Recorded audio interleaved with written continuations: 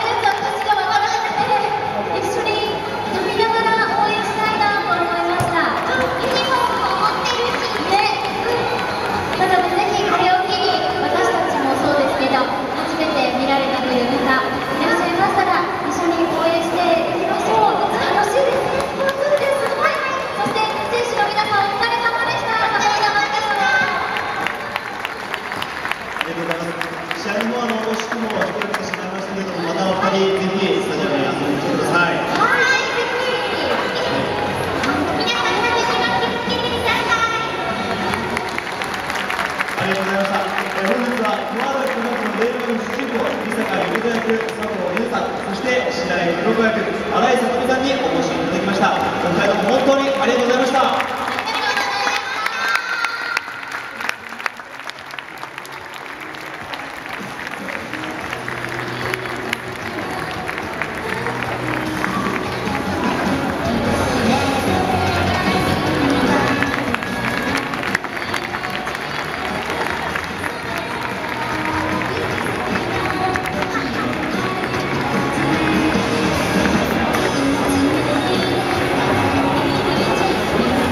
さあそれではここでミーファーオリジナル限定チャリティー T シャツをお買い求めいただいた方の中から抽選で10名様に当たります。